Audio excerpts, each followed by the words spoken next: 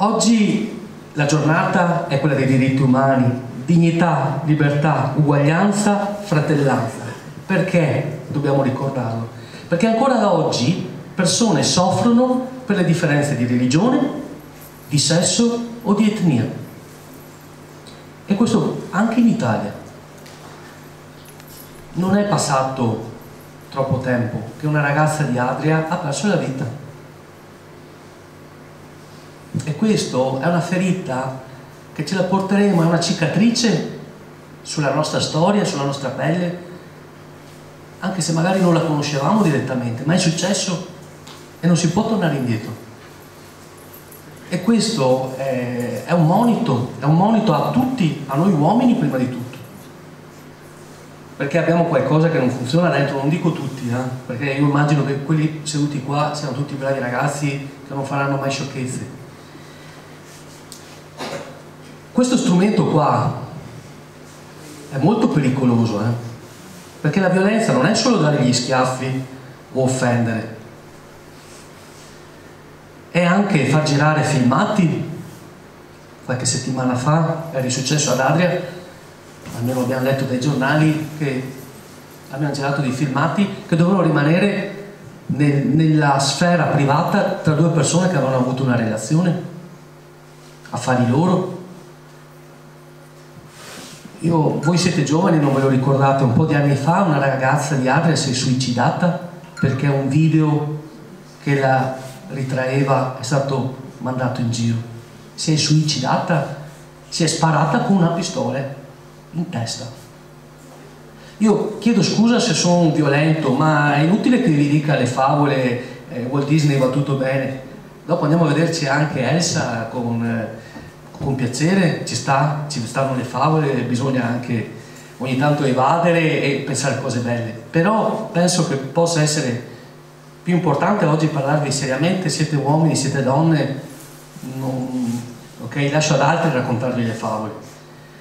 E, e vi chiedo veramente di impegnarvi perché, guardate, per quanto il sindaco possa fare, la consigliera possa fare, il centro antiviolenza possa fare, siamo noi che possiamo cambiare la realtà, ma noi intesi, ognuno di noi, facendo passaparola magari oggi al telefono, in chat, o al bar, facendo due chiacchiere anche con i nostri amici, facendo una riflessione con, il vostro linguaggio, con il vostro modo di dire le cose.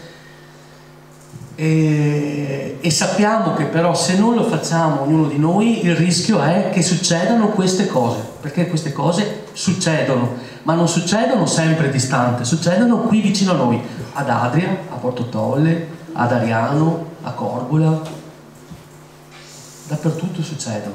Mm. Eh, oggi in particolar modo abbiamo appunto voluto dedicare eh, questo momento alla, eh, a, a, darvi un messaggio contro la violenza di genere e ricordare la nostra Giulia, perché è la nostra Giulia, è la nostra sorella. Esiste una legge molto importante che si chiama Codice Rosso. Questo cosa vuol dire? Che quando una ragazza, una donna, una bambina è in difficoltà e si chiama eh, i numeri di emergenza, i carabinieri, la polizia, ok? Intervengono immediatamente, anche se stanno facendo altri tipi di azioni sul territorio, in base a questa legge, per fortuna, finalmente, intervengono immediatamente, cioè si dà una priorità a questo tipo di violenze. Cioè, ci sono voluti tanti anni, siamo negli anni 2000, però ci siamo arrivati, almeno insomma, diamola come una buona notizia. Ci sono gli sportelli antiviolenza, bisogna sapere che esistono, dove sono sul territorio, che giorni sono aperti, ci sono dei numeri verdi e dei numeri attivi 24 ore, per cui troverete delle persone, se c'è necessità, che sono pronte ad aiutarvi, a darvi delle indicazioni, a essere a vostra disposizione. Ecco, questo io vi chiedo, eh, mi auguro e sono sicuro che lo farete, facciamo passaparola, perché sono cose che conosciamo ma in realtà non conosciamo. E solamente una cosa, eh, sono contento che la presenza qui dentro oggi sia dei giovani, perché siete voi che avete il fardello pesante da portare verso il futuro. Siete voi che dovete parlare con i vostri amici, siete voi che dovete ricordare queste giornate importanti. Sono l'educatrice del centro antiviolenza. Noi volevamo partire da, cioè ci, siamo, ci facciamo ogni giorno durante il nostro lavoro delle domande su eh, come nasce la violenza all'interno di un rapporto e soprattutto quali sono i campanelli d'allarme da non sottovalutare.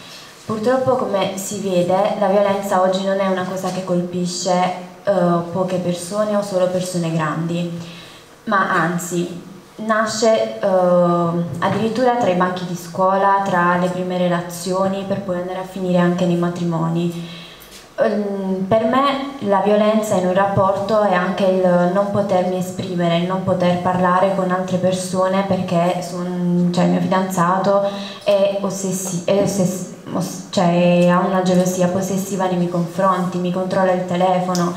Cioè, io credo che proprio in riferimento alla Dichiarazione universale dei diritti umani che oggi è mh, la giornata, credo che mh, ad oggi, nel 2019, si non si può parlare di uguaglianza, piena uguaglianza fra uomo e donna. E ringraziare personalmente di cuore l'amministrazione, la pubblica amministrazione e le associazioni coinvolte per la sensibilità che hanno avuto nello stare vicino alla famiglia Lazzari, come poche, in poche occasioni ho visto, devo dire il vero.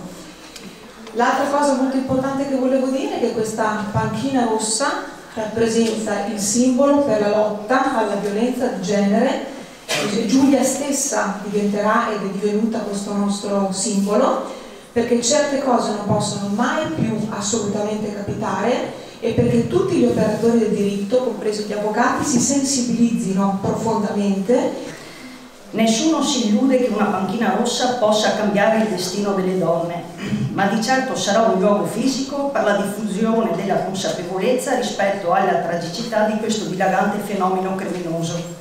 Il nostro dono è stato fatto con l'intento che possa contribuire nel quotidiano a far sviluppare nella nostra comunità l'affermazione della cultura e del rispetto, perché l'amore non lascia lividi, non ti minaccia né ti uccide. Ma... Ringraziamo perché siete stati molto attenti durante la giornata di oggi, avete ascoltato e siamo sicuri che, che adesso ci facciamo una promessa tutti quanti insieme e che tutti quanti la manteniamo.